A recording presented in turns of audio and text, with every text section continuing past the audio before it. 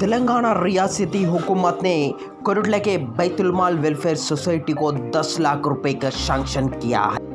बैतुलमाल की बिल्डिंग को इनाग्रेशन किया है एमएलए विद्यासागर राव। साथ ही साथ उन लोगों को जो यतीम बेवा लोगों को पेंशन भी उनके हाथों के द्वारा दिया गया। में बैतुलमाल वेलफेयर सोसाइटी के जानब से 2011 में शुरुआत की थी जो यतीम और जो बेवा औरतों के लिए महीना दो सौ रुपये से लेके पाँच सौ रुपये तक देने का इंतज़ाम रखती है ये बैतुलमाल वेलफेयर सोसाइटी। तेलंगाना में कहीं नहीं हुए जैसा सिर्फ़ बैतुलमाल वेलफेयर सोसाइटी को 10 लाख रुपए सालाना फंड देने का वादा किया है एम एमएलए विद्यासागर राव। और साथ ही साथ ऑफ़िस लगाने के लिए 10 गुंटे ज़मीन देने का भी वादा किया है। और उनके साथ ही साथ तेलंगाना वर्किंग जर्नलिस्ट एसोसिएशन के मुंतसिब founder president Tiger Ali Nawab भी साथी थे और पुलिस नज़र न्यूज़ के सीईओ शेख रहीम और उनके साथी जगित्याल जिला के cameraman M D Rauf Koratla regional cameraman typist Bashir और साथ ही साथ करुटला के रिपोर्टर्स भी इस बैतुमाल वेलफेयर सोसाइटी के जानब से हाजिर हुए। और जितने भी खातन लोग चार सौ से पाँच सौ लोग हाजिर हुए थे, उन सब के लिए खाने का इंतज़ाम किया गया है। పోలీస్ నజర్ न्यूज करुटला జిల్లా తెలంగాణ. మా ఫోటో అయితే లేదు? మనం అడుగుతాం. ఇప్పుడు అయితే నా ఫోటో లేదని అయితే నా ఫోటో చూస్తూనే చూసుకోండి. నా ఫోటో ఉన్నదా లేదా కూడా.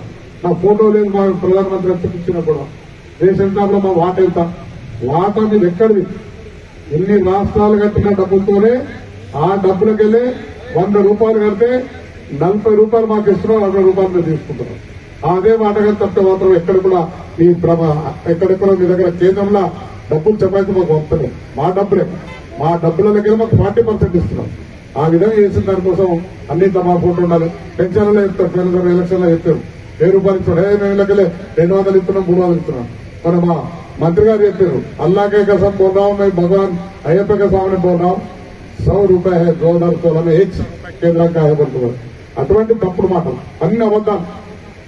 कितने झूठा बोले तो उतना सही होता कहते सौ झूठ बोलना कोई सही होता बोलते बोलते होम मिनिस्टर साहब बोलते कहते सौ झूठ उनको करते करते जाओ लंगा लंगा बोलो उसके बाद लंगा बन जाता होना एक सौ के बाद बोलते बोला ऐसा झूठा మాత बोले మీరు అందరూ అర్థం చేసుకోండి చెప్పేది ఎందుకంటే ఇవన్నీ స్కీమ్స్ నడుపుతున్నాయి కనుక వాళ్ళు బాగుంటుంది మన ప్రభుత్వాన్ని ఖతం చేస్తే వేరే రాష్ట్రాల్లో కూడా మాట్లాడు ఒకవేళ మన ప్రభుత్వం ఇట్లే ఉండి కేంద్రం దాకా మన ముఖ్యమంత్రి గారు ఇట్లా పోతే ఏమంటారు అప్పుడు కేంద్రంలో వచ్చింది కనుక బిడ్డ అన్ని రాష్ట్రాలు పెట్టాలంటే అంటారు కనుక ఆ బాధలను ఇది తీసేయాలి రాష్ట్రం డబ్బులు చేయాలని ఆలోచన కనుక మన పెద్ద మనసుకొని మనందరం కొట్లాడి తెచ్చుకున్న తెలంగాణ.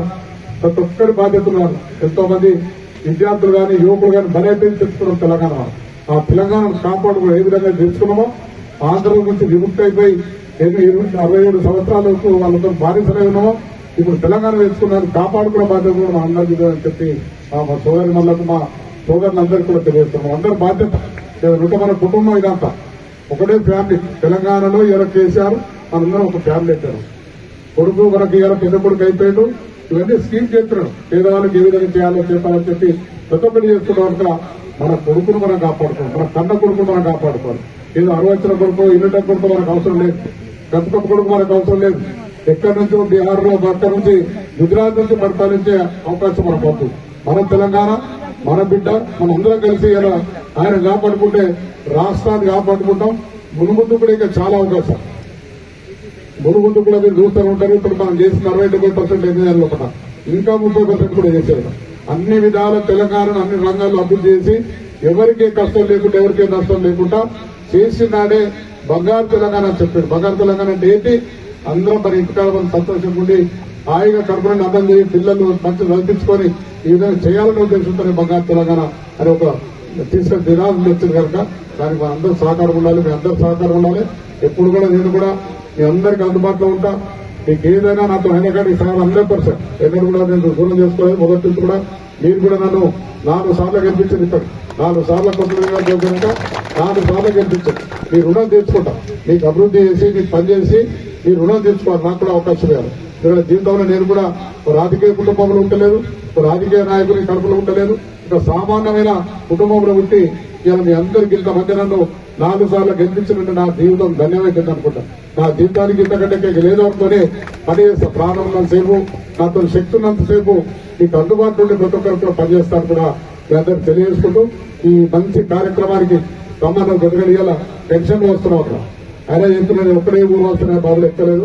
మా బాలను సార్ కోపం కట్టడం లేకుంటే టైం పోతుంది అని చెప్పి ఒకటే గ్రామం నుంచి వచ్చేసాం పొద్దున వర్షం పడ్డ కనుక ఇవాళ పెట్టుకున్నావా లేదా అని ఆలోచన ఉంటే ఆయన వల్ల పాపడు గంటలు ఫోన్ చేసి అయ్యాలు వెళ్దాం సార్ అంటే నేను ఒక్కటి కంప్లీట్ చేసుకుని కష్టం జరిగింది కనుక ఈ ఇంత మంచి కార్యక్రమాలను ఆహ్వానించి మనం పిలిచినందుకు మా మౌలానా సాబ్కు అదేవిధంగా ఒక కమిటీకి ఆ సొసైటీకి అదేవిధంగా మీ అందరికీ మహిళా తల్లులందరూ కూడా చేతులెత్తి నమస్కారం